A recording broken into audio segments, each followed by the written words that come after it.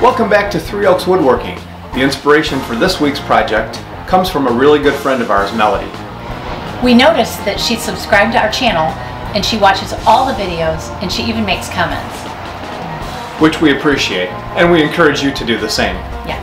But Melody is going through a tough time right now, so we thought maybe we could brighten her day. She's fighting breast cancer. And she's fighting like a girl. Yeah. So at the same time, we encourage all you ladies to get your checkup. That's been Melody's message on Facebook and social media, and she's encouraging all her friends to do that. So do it, it saves lives. Get your checkup and get your mammogram. Another thing we know about Melody is she loves animals. Especially cats. She loves cats. Yes. So we were talking with her daughter about what might we make for her to kind of brighten her day, make her feel a little better. And her daughter was very helpful and helped us conspire very sneakily Uh-huh. to make this week's project. They have recently acquired three cats outside. There's a mama cat and two babies. So we thought that we could make a kitty condo for Melody. Yeah. And that's what we're going to do this week. Come on, let's make a kitty condo. Having never built a kitty condo before, we had to get a plan. So the first thing that we did was get on Pinterest for some ideas. Then we checked out Amazon to get some measurements for openings and things. We decided on an A-frame design with three units and sort of a basement area where they could use for a, a kitty lounge or open air dining, something like that. Kevin drew out the actual dimensions on large paper, which helped us determine the actual dimensions. I was very pleased to find that the angle was 22 and a half degrees, which was an easy one to work with. Our next step was to cut 3 quarter inch plywood to 20 inches, which is how deep the interior of the house is.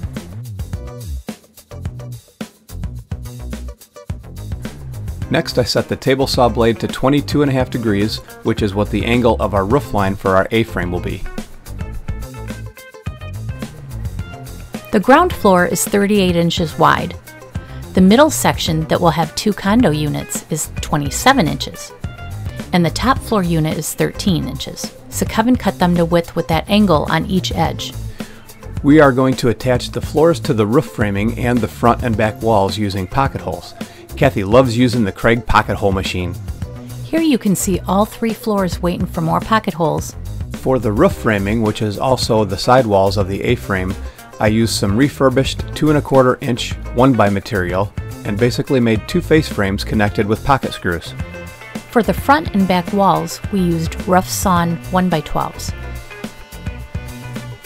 We plane the edges of the 1x12s and join them together using our world famous dry biscuits.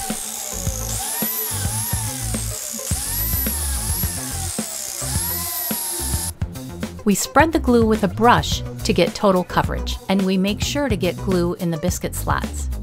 After clamping, we wipe off the excess glue, making for a much neater job. Once the glue up dried, we used our pattern to mark the outline and cut the peak. Then we used the cutoffs to fill in the outside edges and attach them with pocket screws. This way, we could conserve materials.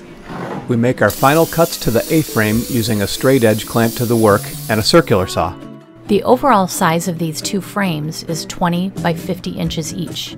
Now we can attach the roof face frames to the front and back peak walls. To do this, we'll use pocket screws and glue. We're using Titebond 2 wood glue, which is rated for interior and exterior use. With the front attached, we can flip it over and attach the back. This video is brought to you by Discarded Animals Everywhere. Our friend Melody and her family do their best to help these poor animals, and we encourage people to adopt rather than shop. Our little nugget Daisy was a throwaway until she came to our family over 13 years ago. She makes us smile every day. She's even a retired therapy dog. I used to take her to visit patients in the hospital. And now, back to our regularly scheduled program. Now it's time to install the floors. We do this with wood glue and pocket screws.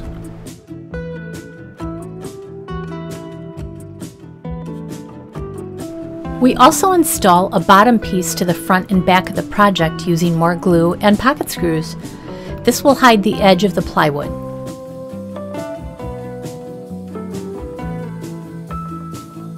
To make a solid peak that we can attach the corrugated metal to, I rip a piece of 2x4 using the same 22.5 degree angle.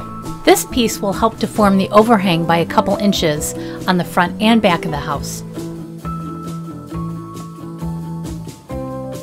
Before adding the overhang, we need to trace the openings for each unit and cut them out using a jigsaw.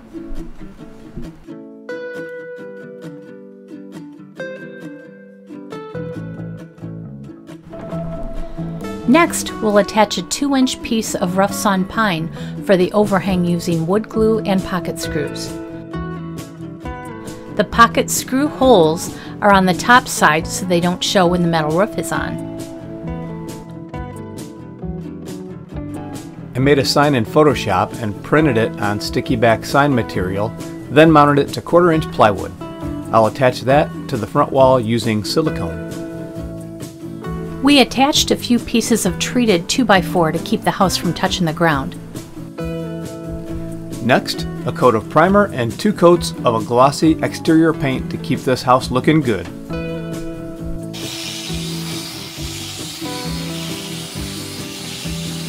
Kevin is cutting the two pieces of metal roofing with a jigsaw and a metal cutting blade. And we even cut some carpet squares to make it a little more comfortable for the cats. Now we'll attach the roofing with self-tapping metal screws that have washers.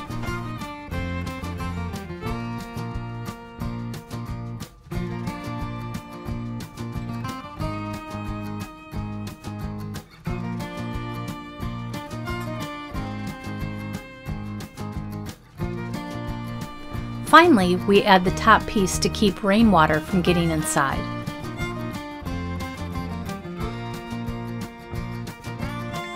The only thing left to do is load it up and make our surprise delivery.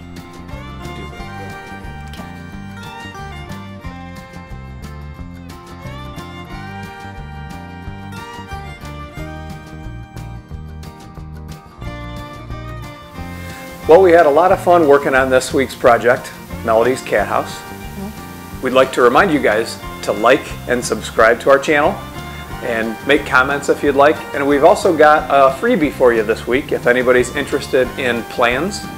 Eventually, we're going to have a website set up where we can offer plans for these projects, but we don't have that done yet. So, um, if you would like a set of plans for the kitty house and you email us before the end of October 2020, we will email you a PDF of these plans for free. Our email address, it'll be down in the show notes also, but it is threeoakswoodworking at gmail.com. And all we ask in return is that you have your loved ones get their checkup and mammogram. It's very important. Do it for Melody. Right. We appreciate everyone who has subscribed to our channel. We made our first YouTube milestone, and we even got an email from them.